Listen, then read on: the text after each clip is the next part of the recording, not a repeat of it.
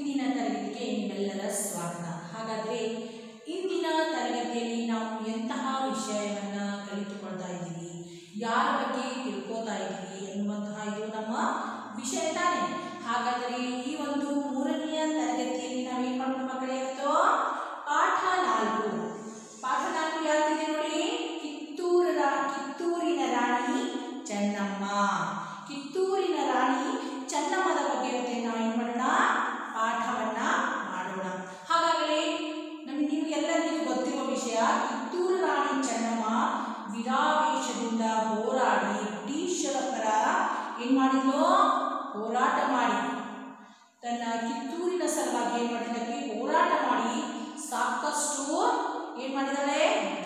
ಮಾಡಿ ಒಬ್ಬ ಮಹಿಳೆ ಯಾವ ರೀತಿಯಾದಂತಹ ಶೌರ್ಯ ಸಾಹಸವನ್ನ ಮೆರೆದಿದ್ದಾಳೆ.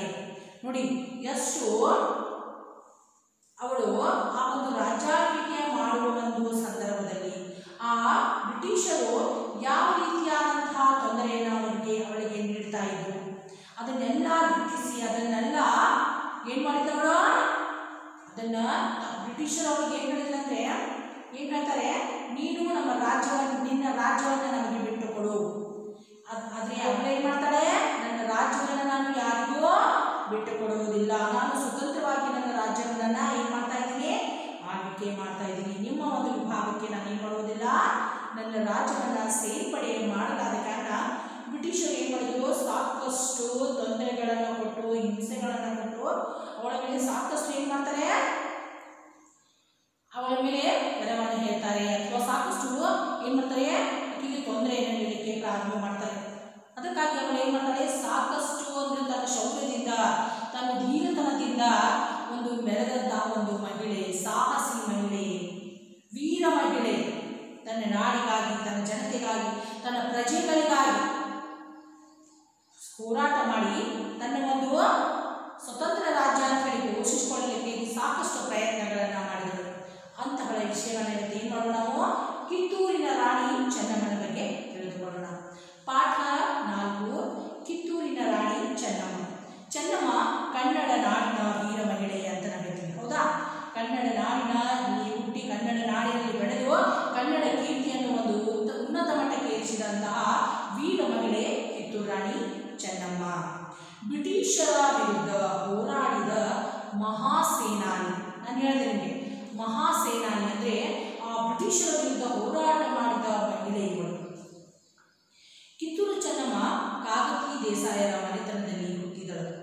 ಅವಳು ಚಿಕ್ಕ ವಯಸ್ಸಿನಲ್ಲಿಯೇ ಸಾಹಿತ್ಯ, ಸಂಗೀತ ಕುದುರೆ ಸವಾರಿ ಯುದ್ಧ ವಿದ್ಯೆಗಳನ್ನು ವಿದ್ಯೆಗಳನ್ನು ಅಂದರೆ ಇವೆಲ್ಲ ಯುದ್ಧದಲ್ಲಿ ಮಾಡುವಂತಹ ಬೇಕಾಗಿರುವಂಥ ಎಲ್ಲ ವಿದ್ಯೆಗಳನ್ನು ಕಿತ್ತೂರಿನ ರಾಣಿ ಚೆನ್ನಮ್ಮ ಕಲಿತಿದ್ದಳು.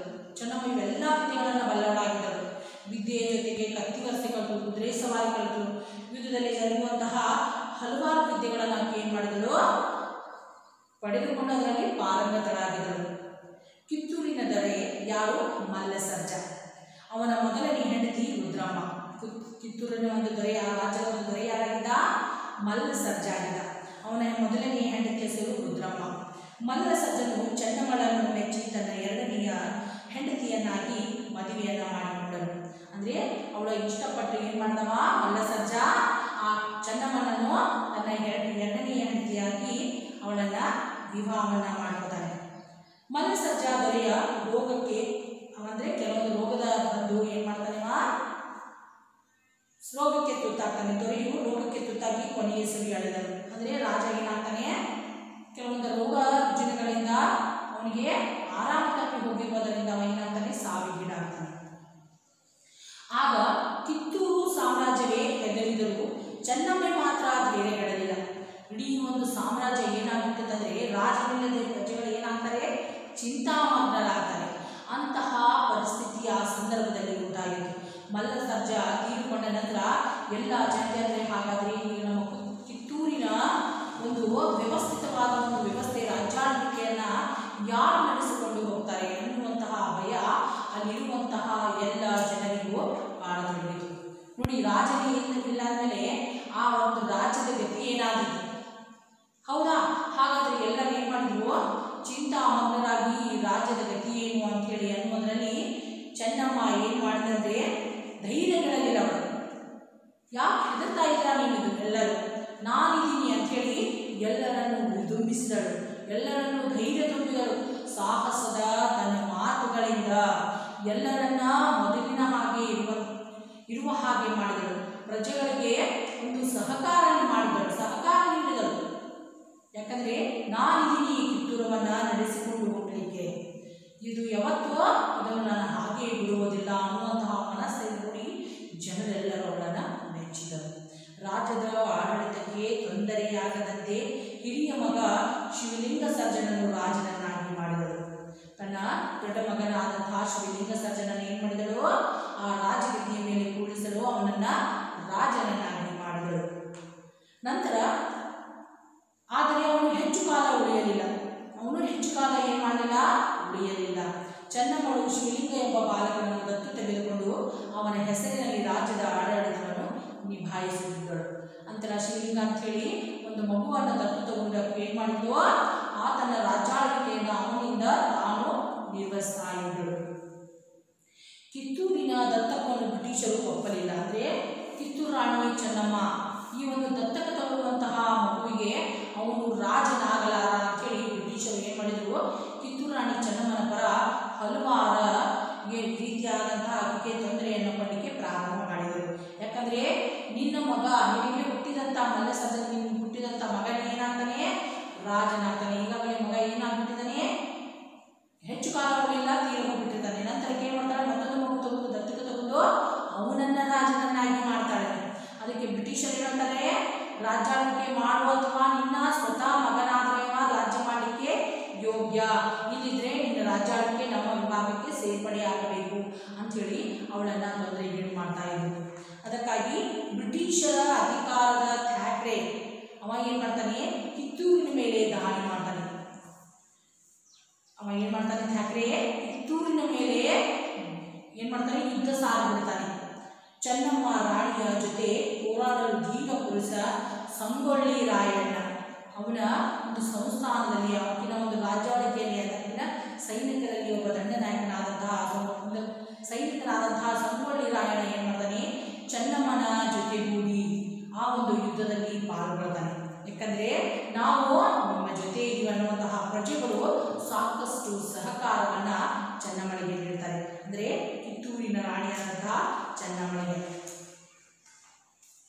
ಅಕ್ಬರ್ ರಾಜನ ಆಸ್ಥಾನದಲ್ಲಿ ಬೀರಬಲ್ಲ ಹೌದಾ ಇಂತಹ ಅನೇಕ ರಾಜರ ಕಥೆಗಳನ್ನು ಅನೇಕ ಮಹಾ ಒಂದು ಅದು ಬೇರೆ ಯಾರೇ ರಾಜರಾಗಲಿ ಅಂತಹ ವೀರ ಪುರುಷರ ಕಥೆಗಳನ್ನು ಸಹ ಸಾಕಷ್ಟು ಕೇಳಿದ್ವಿ ನಾವು ಇಂತಹ ಒಂದು ಈ ಒಂದು ವೀರ ಮಹಿಳೆಯ ಕಥೆಯನ್ನು ನಾವು ಇವತ್ತು ಏನು ಮಾಡ್ತಾ ಇದ್ದೀವಿ ಕೇಳ್ತಾ ಇದ್ದೀವಿ ಯಾವ ಯಾವ ರೀತಿಯಾಗಿ ವೀರಾವೇಶದಿಂದ ಹೋರಾಡಿದರು ಬ್ರಿಟಿಷರು ಹೆಚ್ಚು ದಬ್ಬಾಳಿಕೆಯನ್ನು ಆಕೆಗೆ ಏನು ಮಾಡ್ತಾ ಇದ್ವು ಹಾಕ್ತಾ ಇದ್ರು ನೀನು ಇವತ್ತು ಕಿತ್ತೂರನ್ನು ನಮಗೆ ಬಿಟ್ಟು ಕೊಡು ಇಲ್ಲದಿದ್ದರೆ ನಮ್ಮ ಜೊತೆ ಏನು ಮಾಡು ಯುದ್ಧವನ್ನು ಮಾಡು ಅಂತೇಳಿ ಥ್ಯಾಕ್ರೆ ಏನು ಮಾಡ್ದ ಅಂದರೆ ಅವಳ ಮೇಲೆ ಯುದ್ಧವನ್ನು ಸಾರಿದ ಆ ಒಂದು ಮಹಿಳೆ ಯಾವ ರೀತಿಯಾಗಿ ಆ ಒಂದು ಬ್ರಿಟಿಷರ ವಿರುದ್ಧ ಹೋರಾಟ ಮಾಡಿರಬಹುದು ಅವಳ ಜೊತೆ ಅವಳ ಪ್ರಜೆಗಳು ಸೈನಿಕರು ಅವಳೇನು ಮಾಡಿದ್ರು ಅಲ್ಲಿರುವಂತಹ ಸಂಗೊಳ್ಳಿ ರಾಯಣ್ಣ ಅಂತ ಹೇಳ್ತೀವಿ ನಾವು ಇವರೆಲ್ಲರೂ ಸೇರಿದಂತೆ ಎಲ್ಲ ಕಿತ್ತೂರಿನ ಜನರು ಏನು ಮಾಡಿದ್ರು ಇವೆಲ್ಲ ನಾವೆಲ್ಲರೂ ಏನು ಮಾಡೋಣ ನಿಮ್ಮ ಜೊತೆಯಾಗಿದ್ದೀವಿ ರಾಣಿಯ ಆಜ್ಞೆಯಂತೆ ನಾವೆಲ್ಲರೂ ಪ್ರಜೆಗಳು ನಿಮ್ಮ ಜೊತೆಯಾಗಿದ್ದೀವಿ ನೀವೇನು ಹೆದರಲಿಕ್ಕೆ ಅಂತ ಹೇಳಿ ಎಲ್ಲರಿಗೆ ಇವಳಿಗೆ ಏನು ಮಾಡಿದ್ರು ಸಹಾಯವನ್ನ ಮಾಡಿದರು ಈ ಒಂದು ಸಹಾಯದ ಮೇರೆಗೆ ಭೀಕರವಾದ ಒಂದು ಯುದ್ಧ ಕಿತ್ತೂರಿನಲ್ಲಿ ಏನಾಯಿತು ನಡೆದು ಹೋಯಿತು ಆ ಯೋಧ ಅಂಬುರ ಬಾಳಪ್ಪ ಎಂಬುವರ ಖ್ಯಾತಿಯನ್ನು ಹೊಂದದು ಆ ಯೋಧ ಏನು ಮಾಡ್ದ ಅಂದರೆ ಅಮಟೂರು ಬಾಳಪ್ಪ ಎಂಬುವನು ಆ ಖ್ಯಾತಿಯನ್ನು ಏನು ಮಾಡ್ತಾನೆ ಆ ಯುದ್ಧದಲ್ಲಿ ಸಾವಿಗೀಡು ಮಾಡ್ತಾನೆ ಅನೇಕ ಬ್ರಿಟಿಷ್ ಅಧಿಕಾರಿಗಳು ಸೆರೆಯಾಳಾದರು. ಅಂದ್ರೆ ಹಲವಾರನ್ನು ಅವರು ಏನು ಮಾಡಿದ್ರು ಸೆರೆಮನೆಯಲ್ಲಿ ಇಟ್ಟರು. ಕಿತ್ತೂರು ರಾಜ ವಿಜಯ ಪತಾಕೆಯನ್ನು ಹಾರಿಸಿ ಅಂದ್ರೆ ಕಿತ್ತೂರು ಒಂದು ಸ್ವತಂತ್ರ ರಾಜ್ಯವಾಗಿ, ತನ್ನ ಒಂದು ಈ ಒಂದು ಗೆಲುವಿನ ಪ್ರತೀಕವಾಗಿ ಸಂಭ್ರಮ ಆಚರಣೆಯನ್ನು ಮಾಡಿತು.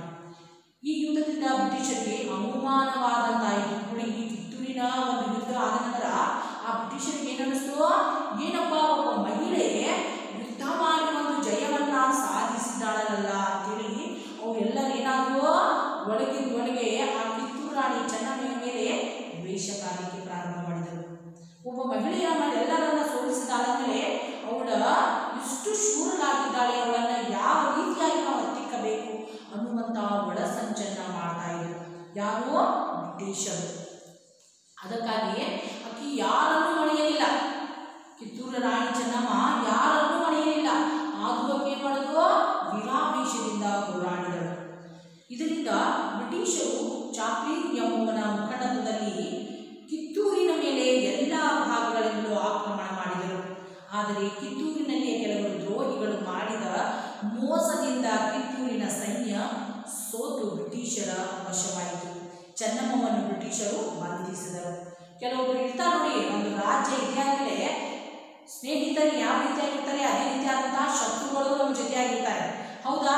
ಈಗ ಹೇಳ್ತೀವಿ, ನಮ್ಮ ಜೊತೆಯಲ್ಲಿ ಇರುವಂತಹ ನಮ್ಮವರಿಗೆ ಏನಾಗಿರ್ತಾರೆ ದ್ರೋಹಿಗಳಾಗಿರ್ತಾರೆ ರಾಜದ್ರೋಹವನ್ನು ಬಗೆಯಲಿಕ್ಕೆ ಸಾಕಷ್ಟು ಜನ ಅದೇ ಒಂದು ಮಾರ್ಗ ಅದ್ ಹಾದಿಯನ್ನು ಕಾಯ್ತಿರ್ತಾರೆ ಯಾವಾಗ ನಾವು ಇವಳಿಗೆ ಕೆಡಕನ್ನ ಬಯಸಬೇಕು ಅನ್ನುವಂತಹ ಒಳಸಂಚನ್ನ ಅವಳಲ್ಲಿ ಆ ಒಂದು ರಾಜ್ಯದಲ್ಲಿ ಇರುವಂತಹ ಜನರು ಏನ್ ಮಾಡ್ತಾ ಇದ್ರು ಅವರ ಸ್ವತಃ ಜನರ ಅವರಿಗೆ ಏನ್ ಮಾಡ್ತಾ ಇದ್ರು ದ್ವೇಷವನ್ನ ಮಾಡ್ತಾ ಇದ್ರು ಆಕೆಗೆ ದ್ವೇಷಿಸ್ತಾ ಇದ್ರು ಯಾಕಂದ್ರೆ ಒಬ್ಬ ಮಹಿಳೆ ಈ ಒಂದು ರಾಜ್ಯಾಳಿಕೆಯನ್ನ ಮಾಡ್ತಾ ಇದ್ದಾಳೆ ನಮಗೆ ಯಾವುದೇ ರೀತಿಯಾದಂತಹ ಅದರಲ್ಲಿ ಪಾಲ್ಗೊಳ್ಳಲು ಅವಳು ನಮಗೆ ಬಿಡ್ತಾ ಇಲ್ಲ ಅನ್ನುವಂಥ ಹೊಟ್ಟಿ ಉರಿಯಿಂದ ಸಾಕಷ್ಟು ಜನ ಅವಳ ಮೇಲೆ ಕಿಡಿಕಾಡ್ತಾ ಇದೆ ಆಕಿನ ಮನೆತನದವರೇ ಅವಳ ಒಂದು ಒಳ ಸೂಚನೆಯಾಗಿ ಏನ್ ಮಾಡ್ಬಿಟ್ಟಿದ್ರು?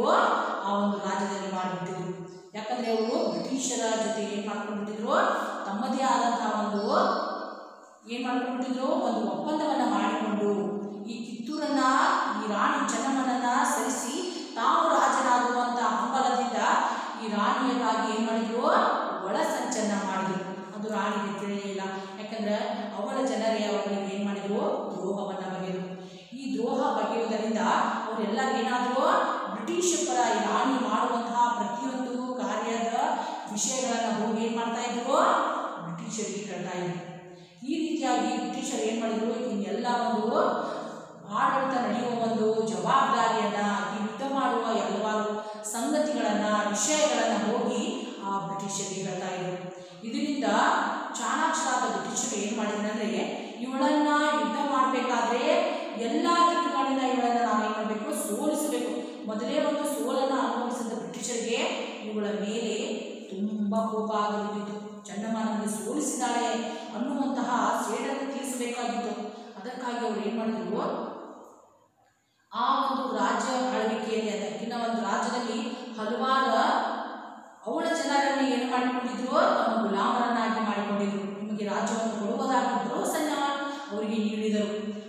ಆ ಜನರು ಏನು ಮಾಡ್ತಾ ಇದ್ರು? ಆ ಬ್ರಿಟಿಷರ ಸಹಾಯವನ್ನ ಮಾಡ್ತಾ ಇದ್ರು. ಇಂತಹ ಸಂದರ್ಭದಲ್ಲಿ ಚೆನ್ನಮ್ಮ ಸಹ ಏನು ಮಾಡಿದ್ರು ಯುದ್ಧಕ್ಕೆ ನಿಂತಳು. ಈ ಬ್ರಿಟಿಷರ ಮತ್ತೊಂದು ಸಲ ಯುದ್ಧ ಮಾಡಬೇಕು ಅಂತ ಅವರು ಏನು ಮಾಡಿದ್ರು ಅವಳ ಮೇಲೆ ಒತ್ತಾಯವನ್ನ ಹೇಳ್ತಾ ಇದ್ರು. ಆಗಲಿ, ನಾನು ಮತ್ತೊಂದು ಸಲ ನಿಮ್ಮನ್ನು ಯುದ್ಧ ಮಾಡುವೆ ಅಂತೇಳಿ ಚೆನ್ನಮ್ಮ ಒಪ್ಪಿಕೊಂಡಳು. ಆ ಯುದ್ಧ ನಡೆಯುವಂತಹ ಒಂದು ಸಂದರ್ಭದಲ್ಲಿ ಬ್ರಿಟಿಷರು ಆಕಿನ ಎಲ್ಲ ಎಲ್ಲ ವಿಷಯವನ್ನು ತಿಳಿದುಕೊಂಡು ಸುತ್ತಲಿನ ಎಲ್ಲ ಕಡೆಯಿಂದ ಮೇಲೆ ಯುದ್ಧವನ್ನು ಹೂಡಿದರು ಆ ಯುದ್ಧದಿಂದ ಎಲ್ಲ ಸೈನಿಕರು ಬ್ರಿಟಿಷರ ವಶ ವಶರಾದರು. ಅಂದರೆ ಸಾಕಷ್ಟು ಜನ ಸೈನಿಕರು ಏನು ಮಾಡಿದ್ರು? ಯುದ್ಧ ಮಾಡುವ ಸಂದರ್ಭದಲ್ಲಿ ಬ್ರಿಟಿಷರಿಗೆ ಮುಂಚಿತವಾಗಿ ತಿಳಿದುಬಿಟ್ಟಿದ್ದು ಇಲ್ಲಿ ಯಾವಳಿಂದ ಯಾವ ಕಡೆಯಿಂದ ಯುದ್ಧ ಮಾಡುವುದು, ಎಷ್ಟು ಜನ ಬರುವುದು ಇವೆಲ್ಲ ವಿಷಯಗಳನ್ನು ಅರಿತ ಬ್ರಿಟಿಷರು ಆ ಎಲ್ಲ ಸೈನಿಕರನ್ನು ಬಂದು ತಮ್ಮ ಸೆರೆಮನೆಯಲ್ಲಿಟ್ಟರು ಹೌದಾ? ಕೆಲವೊಬ್ಬರನ್ನ ಹಿಡಿದರು. ಅದೇ ಅವಳು ಏನು ಮಾಡಿದ್ರು ಈ ಒಂದು ಯುದ್ಧದಲ್ಲಿ ಸೋಲನ್ನು ಅನುಭವಿಸಿದರು ಸೋಲನ್ನು ಅನುಭವಿಸಿದ ಚೆನ್ನಮ್ಮಳನ್ನು ಬ್ರಿಟಿಷರು ಏನು ಮಾಡಿದ್ರು? ತಗೊಂಡು ಹೋಗಿ ಸೆರೆಮನೆಯಲ್ಲಿಟ್ಟರು ಸಾಕಷ್ಟು ತೊಂದರೆಗಳನ್ನು ಕೊಡ್ತಾ ಇದ್ರು. ನಿನ್ನ ರಾಜ್ಯವನ್ನು ನನಗಾಗಿ ಕೊಡಿ, ಬಿಟ್ಟು ಕೊಡು ಅಂತ ಹೇಳಿ. ಆದರೆ ಅವಳು ಒಪ್ಪಲಿಲ್ಲ. ಮೊದಲೇ ಖ್ಯಾತಿಗೆ ಬಂದಂತಹ ಒಂದು ಏನಿತ್ತು, ಅದನ್ನು ಸೇರಿ ತೀರಿಸ್ಕೋಬೇಕಂತ ಹೇಳಿ ಚೆನ್ನಮ್ಮನ ಮೇಲೆ ಸಾಕಷ್ಟು ಹಿಡಿಯನ್ನ ಬ್ರಿಟಿಷರು ಕಾಡ್ತಾ ಇದ್ರು. ಚೆನ್ನಮ್ಮನನ್ನು ಬೈಲುಹೊಂಗಲದ ಸೆರೆಮನೆಯಲ್ಲಿ ಇರಿಸಲಾಯಿತು. ಬೈಲುಹೊಂಗಲದಲ್ಲಿ ಇರುವಂತಹ ಜೈಲಿನಲ್ಲಿ ಚೆನ್ನಮ್ಮನಿಗೆ ಹಾಕಲಾಯಿತು. ಸೆರೆಮನೆಯಲ್ಲಿ ಸ್ವತಂತ್ರ ಕನಸನ್ನೇ ಕಾಣುತ್ತಿದ್ದ ಚೆನ್ನಮ್ಮ ತನ್ನ ಆಪ್ತ ಭಂಟನಾದ, ಭಂಟ ಅಂದರೆ ಸೇವಕ. ಹೌದಾ? ಸೇವಕನಾದ ಯಾರೋ ಕಿತ್ತೂರಿನ ಮೇಲೆ ಅಂದರೆ ಕಿತ್ತೂರಿನ ಮೇಲೆ ನನಗೆ ಯಾರೋ ಈಗ ಭರವಸೆ ನಾನು ಮಾಡಬೇಕು ಅನ್ನುವಂಥ ಯಾರು ಇದ್ದಿಲ್ಲ. ಅದಕ್ಕಾಗಿ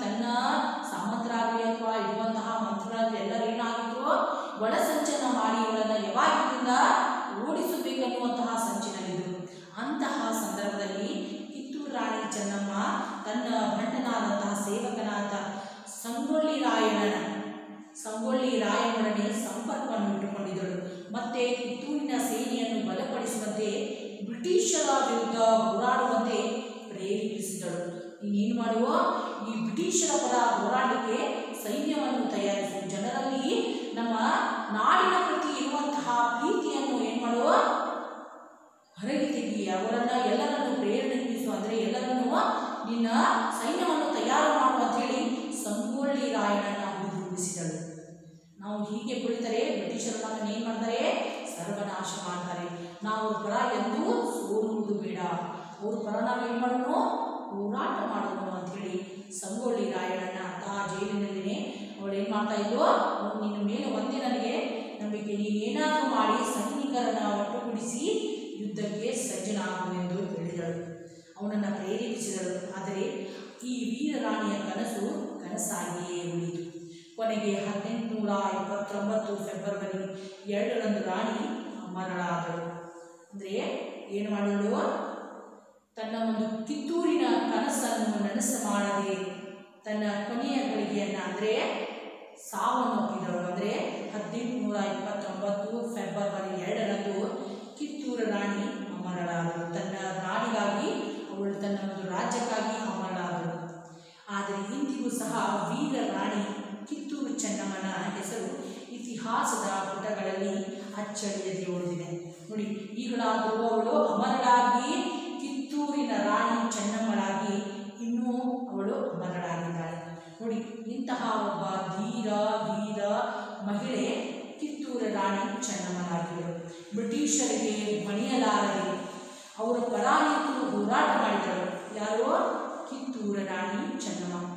ಹಾಗಾದರೆ ಕಿತ್ತೂರ ರಾಣಿ ಚೆನ್ನಮ್ಮ ಪಾಠದಲ್ಲಿ ಚೆನ್ನಮ್ಮಳ ಒಂದು ಸಾಹಸ, ಯಶೋಗಾಥೆಯನ್ನು ನಾವು ಏನು ಮಾಡಿದ್ವಿ.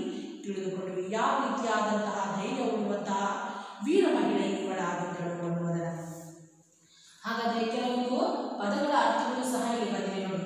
ದತ್ತಕ ಅಂದರೆ ದತ್ತಪುತ್ರ. ಈ ವಿಷಯದ ಅನುಸಾರವಾಗಿ ಆ ಒಂದು ಪಾಠದಲ್ಲಿ ಬಂದಿರುವಂತಹ ಕೆಲವೊಂದು ಕಠಿಣ ಪದಗಳು. ಮುಖಂಡತ್ವ ಅಂದ್ರೆ ನಾಯಕತ್ವ, ಯೋಧ ಬ್ರಿಟಿಷರ ಸಾಕಷ್ಟು ಬಾರಿ ಏನು ಮಾಡಿದ್ಲು ದಾಳಿಯನ್ನು ಮಾಡಿದರು. ದ್ರೋಹಿ ಸಾಕಷ್ಟು ಸಲ ಸಲ ಏನು ಮಾಡಿದ್ರು ವಿಜಯವನ್ನು ಸಾಧಿಸಿದರು ದ್ರೋಹಿ ಅಂದರೆ ಕೆಡಕನ್ನು ಬಗೆಯುವನು ಆಪ್ತ ಆತ್ಮೀಯ, ಭಂಡ ಅಂದರೆ ಸೇವಕ. ನೋಡಿ, ಸಾಕಷ್ಟು ಈ ಒಂದು ಪಾಠದ ಮೇಲ ಕೆಲವೊಂದು ಪ್ರಶ್ನೆಗಳು ಸಹ ಇಲ್ಲಿ ಬಂದಿವೆ. ಚೆನ್ನಮ್ಮ ಯಾರ ಕಲಾ ಹೋರಾಟ ಮಾಡಿದ್ದು? ಕಿತ್ತೂರಿನ ದೊರೆಯ ಹೆಸರೇನು? ಮಲ್ಲಸಜ್ಜ. ಹೌದಾ? ಆಡಳಿಕೆ ತೊಂದರೆಯಾಗದಂತೆ ಚೆನ್ನಮ್ಮ ಯಾರನ್ನು ರಾಜನಾಗಿ ಮಾಡಿದರು ಯಾವ ರೀತಿಯಾಗಿ ತನ್ನ ರಾಜಾಳ್ವಿಕೆಯನ್ನು ಮಾಡಿದರು ಠಾಕ್ರೆಯನ್ನು ಕೊಂದವರು ಯಾರು ಕಿತ್ತೂರಿನ ಮೇಲೆ ದಾಳಿ ಮಾಡಿದ ಬ್ರಿಟಿಷ್ ಅಧಿಕಾರಿ ಯಾರು? ಆಮೇಲೆ ಚೆನ್ನಮ್ಮನನ್ನು, ಚೆನ್ನಮ್ಮನ ಆಪ್ತ ಭಟ್ಟನ ಯಾರಾಗಿದ್ದರು? ಯಾರೋ? ಸಂಗೊಳ್ಳಿ ರಾಯಣ್ಣ. ಚೆನ್ನಮ್ಮನನ್ನು ಸೆರೆಮನೆಯಲ್ಲಿ ಇರಿಸಿದವರು ಬ್ರಿಟಿಷರು. ರಾಣಿ ಚೆನ್ನಮ್ಮನ ಅಮರಳಾದ ದಿನ ಹದಿನೆಂಟುನೂರ ಇಪ್ಪತ್ತೊಂಬತ್ತು ಫೆಬ್ರವರಿ ಎರಡು. ನೋಡಿ, ಕೆಲವೊಂದು ಪ್ರಶ್ನೆಗಳು ಇಷ್ಟು ಸರಳವಾಗಿವೆ. ಪಾಠ, ಅರ್ಥ ಆದ ತಕ್ಷಣ ನಾವು ಎಲ್ಲ ಸರಳವಾಗಿ, ಸರಾಗವಾಗಿ ಮಾಡಬಹುದು. ಯಾಕಂದ್ರೆ ಮೊದಲು ನಮ್ಗೆ ಏನು ಬೇಕು ವಿಷಯದ ಸಂಪೂರ್ಣ ಜ್ಞಾನ ಬೇಕು.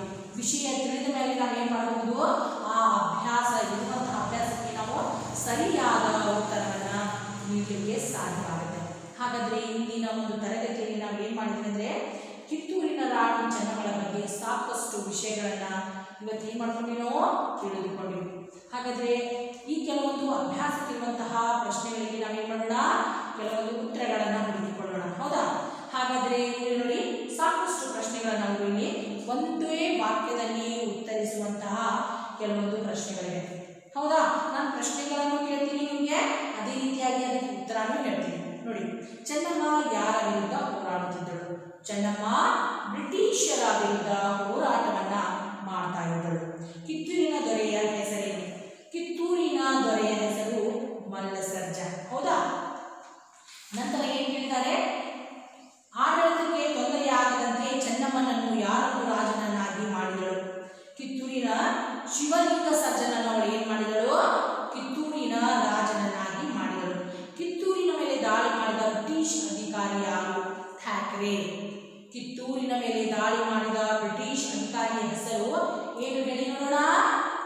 ಹೇಳಿ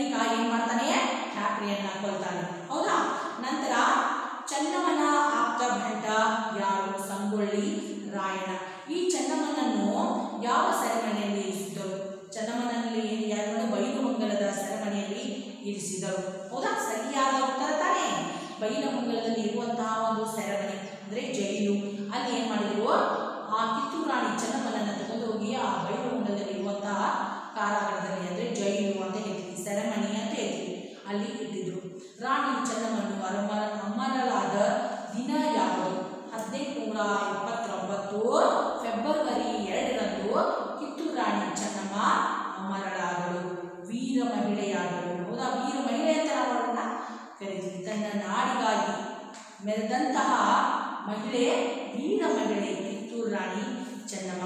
ಅದೇ ರೀತಿಯಾಗಿ ಕೆಲವೊಂದು ಮಾದರಿಯಂತೆ ಪದಗಳನ್ನು ಬದಲಾಯಿಸಿ ಅಂತ ಹೇಳಿ ಸಹ ಇಲ್ಲಿ ಕೊಟ್ಟಿದ್ದಾರೆ. ನೋಡಿ, ಯಾವ ರೀತಿಯಾಗಿ ಕೊಟ್ಟಿದ್ದಾರೆ ಅಂದರೆ ಬಾಲಕ, ಬಾಲಕಿ, ರಾಜ, ರಾಣಿ, ಗೆಳೆಯ, ಗೆಳತಿ, ಸೇವಕ, ಸೇವಕಿ, ಧೀರ, ಧೀರೆ. ಹೌದಾ? ನೋಡಿ ಮಾದರಿ ಅಂತಂದ್ರೆ ಸ್ತ್ರೀಲಿಂಗ ಮತ್ತು ಪುಲ್ಲಿಂಗ ರೂಪ ಅಂತ ನಾವು ಹೇಳ್ತೀವಿ. ಹೌದಾ? ಅದು ಒಂದು ರೂಪವನ್ನು ನಾವು ಇವತ್ತು ಏನು ಮಾಡಿದ್ವಿ? ಅದನ್ನೂ ಸಹ ನಾವು ಕೇಳಿಕೊಂಡ್ವಿ. ಈಗ ಕೆಲವೊಂದು ವ್ಯಾಖ್ಯೆಗಳನ್ನು ನಾವು ಏನು ಮಾಡಿದ್ದಾರೆ ಇಲ್ಲಿ? ಕೊಟ್ಟಿದ್ದಾರೆ. ಅದನ್ನು ಸಹ ನಾವು ಏನು ಮಾಡೋಣ ಇವತ್ತು? ನೋಡಿಕೊಳ್ಳೋಣ. ಈ ಕೆಳಗಿನ ವಾಕ್ಯಗಳನ್ನು ಸರಿ ಇದೆಯೋ ತಪ್ಪಿದೆಯೋ ಅಂತೇಳಿ ಕೇಳಿದ್ದಾರೆ ಅವರು. ಹಾಗಾದ್ರೆ ಕಿತ್ತೂರಿನ ದೊರೆ ಯಾರು ಹೇಳಿ ನೋಡೋಣ. ಮಲ್ಲಸರ್ಜ ಇದು ಸರಿಯಾದ ಉತ್ತರ ತಾನೇ? ಹಾಗಾದ್ರೆ ಇದು ಸರಿ. ಮೊದಲನೇ ಹೆಂಡತಿ ಹೆಸರು ಚೆನ್ನಮ್ಮ ಇದು ತಪ್ಪು.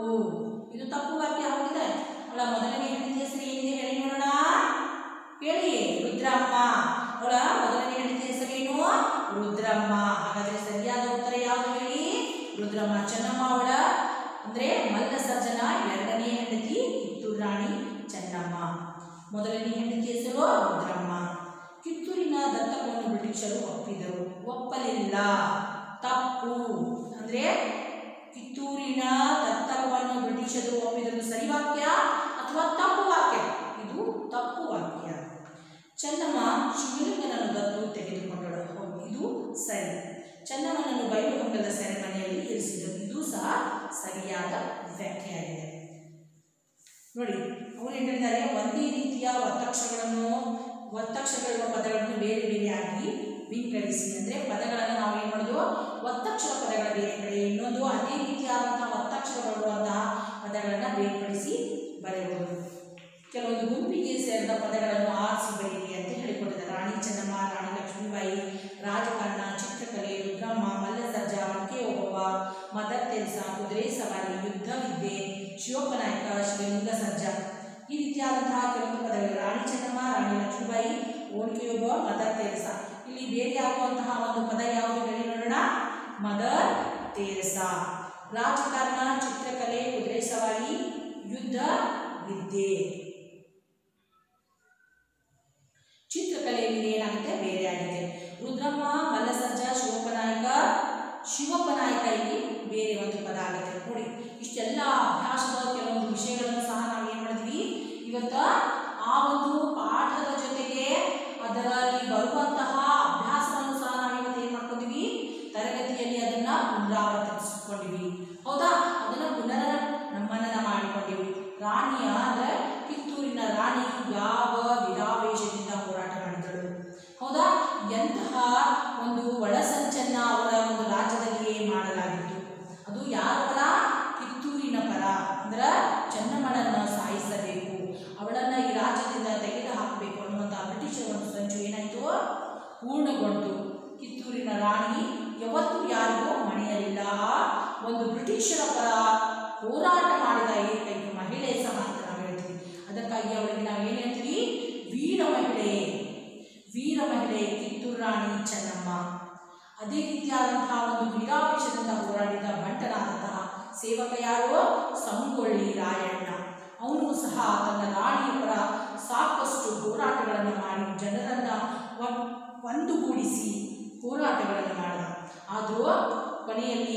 ಯಾರು ಜಯಿಸಿದ ಮೇಲೆ ಬ್ರಿಟಿಷರಿಗೆ ಜಯವಾಯಿತು ಯಾಕಂದರೆ ಕೆಲವೊಂದು ಜನ ಅವರವರಲ್ಲಿಯೇ ಒಳಸಂಚನ್ನು ಮಾಡಿ ರಾಣಿಯನ್ನು ಸೋಲಿಸಿದರು. ನೋಡಿ ಇವಂದಿನ ಒಂದು ತರಗತಿಯಲ್ಲಿ ನಾವು ಅಭ್ಯಾಸದ ಜೊತೆಗೆ, ಪದಗಳ ಅರ್ಥಗಳ ಜೊತೆಗೆ ಈ ಒಂದು ಕಿತ್ತೂರಿನ ರಾಣಿ ಚೆನ್ನಮ್ಮ ಒಂದು ಪಾಠವನ್ನು ವಿವರವಾಗಿ ತಿಳಿದುಕೊಂಡಿವೆ ಹಾಗಾದರೆ ಇಂದಿನ ಒಂದು ತರಗತಿಯ ಪಾಠ ವಿಷಯಗಳನ್ನು ಮಕ್ಕಳ ಇವತ್ತು ಏನು ಮಾಡ್ಕೊಂಡಿದ್ದೀರಿ, ಕಲಿತುಕೊಂಡಿದ್ದೀರಿ. ಹಾಗಾದರೆ ಇದರ ನಿಮಿತ್ತ ಒಂದು ಗೃಹ ಕಾರ್ಯ ಸಹ ನೀವು ಏನು ಮಾಡಬೇಕು? ಮಾಡಬೇಕು. ಹಾಗಾದರೆ ಎಂತಹ ಗೃಹ ಕಾರ್ಯ? ಈ ಒಂದು ಕಿತ್ತೂರಾಣಿ ಚೆನ್ನಮ್ಮ.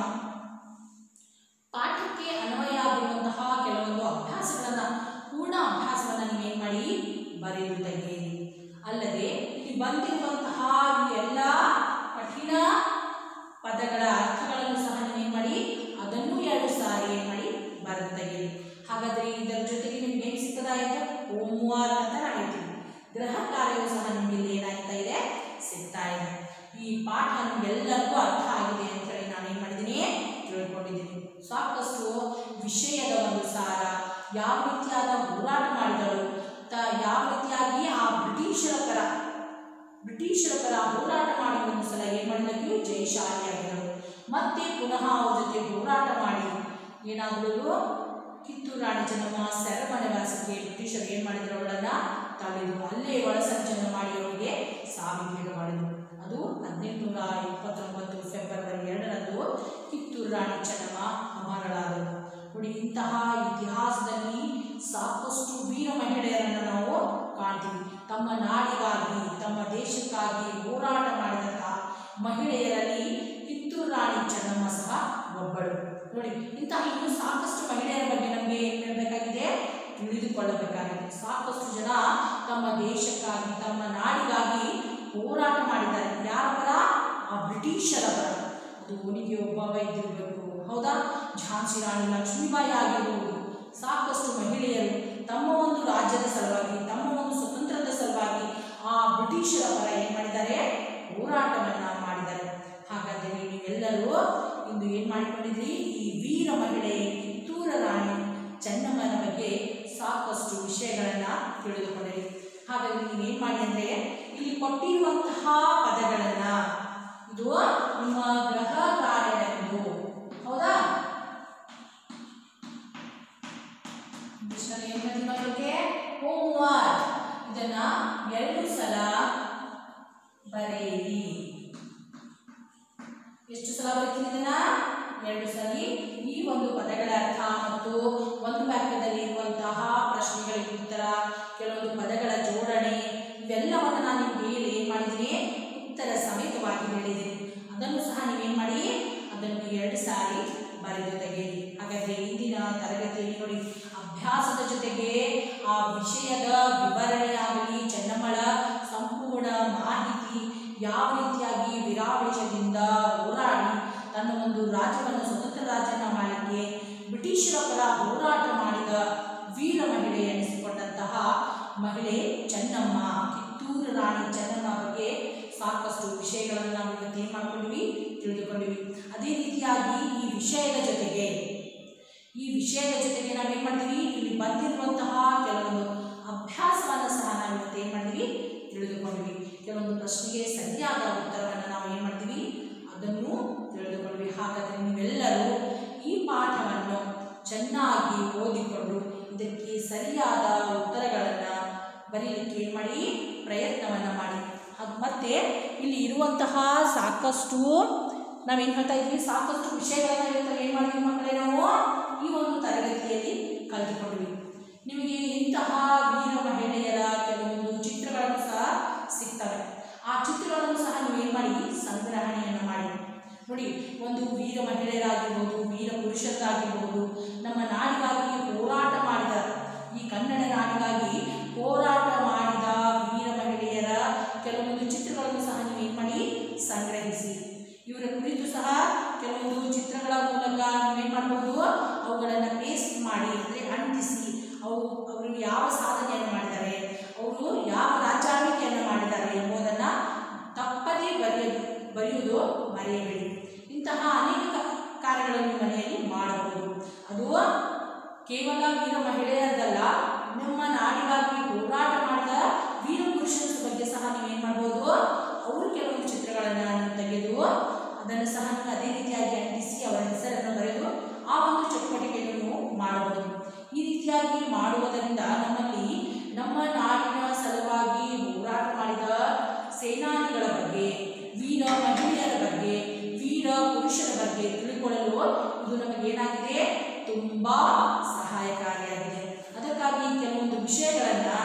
ನಾವು ಹೆಚ್ಚಿನ ಒಂದು ಜ್ಞಾನವನ್ನು ಪಡೆಯಬೇಕಾದರೆ ಆ ವಿಷಯವನ್ನು ಏನು ಮಾಡಬೇಕು ನಾವು?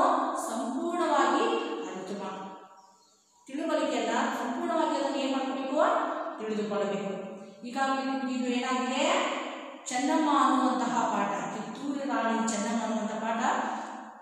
ತಿಳಿದಿದೆ ತಾನೇ ಎಲ್ಲರಿಗೂ? ಹಾಗಾದರೆ ಇದನ್ನು ನೀವು ಇನ್ನೊಂದು ಸಾರಿ ಏನು ಮಾಡಿ ಅಂದರೆ ಮನೆಯಲ್ಲಿ ಚೆನ್ನಾಗಿ ಓದಿಕೊಂಡು ಅಲ್ಲಿ ಬಂದಿರುವಂತಹ ಪ್ರತಿಯೊಂದು ಅಭ್ಯಾಸವನ್ನು ಏನು ಮಾಡಿ ಸರಿಯಾಗಿ ಉತ್ತರವನ್ನು ಬರೆಯುತ್ತಾ? ಏನು ಮಾಡಿ ಅದನ್ನು ಬರೆದು ತೆಗೆಯಿರಿ. ನೋಡಿ, ಸಾಕಷ್ಟು ವಿಷಯಗಳನ್ನು ನಾವು ಇವತ್ತು ಏನು ಮಾಡ್ತೀವಿ? ಈ ಒಂದು ತರಗತಿಯಲ್ಲಿ ಕಲಿತೀವಿ. ಅಂದರೆ ವೀರ ಮಹಿಳೆಯರು ಯಾರು? ಯಾವ ರೀತಿಯಾಗಿರ್ತಾರೆ ತಮ್ಮ ರಾಜ್ಯದ ಪರ ಯಾವ ರೀತಿಯಾಗಿ ಹೋರಾಟ ಮಾಡ್ತಾರೆ?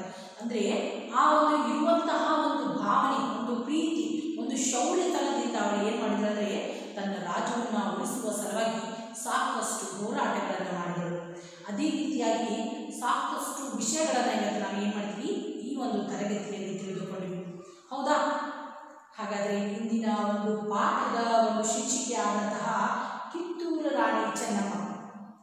ನಾನು ಹೇಳ್ತೀನಿ ಅಂದರೆ ವೀರ ಮಹಿಳೆಯರ ಕೆಲವೊಂದು ಏನು ಮಾಡಿ ಚಿತ್ರಗಳನ್ನು ಸಂಗ್ರಹಿಸಿ. ಇದು ಒಂದು ರೀತಿಯಾದಂಥ ಉತ್ತಮವಾದಂಥ ಹವ್ಯಾಸ. ಹೌದಾ? ಇಂದಿನ ಪಾಠ ಇಲ್ಲಿಗೆ ಮುಕ್ತಾಯ ನಮಸ್ಕಾರ.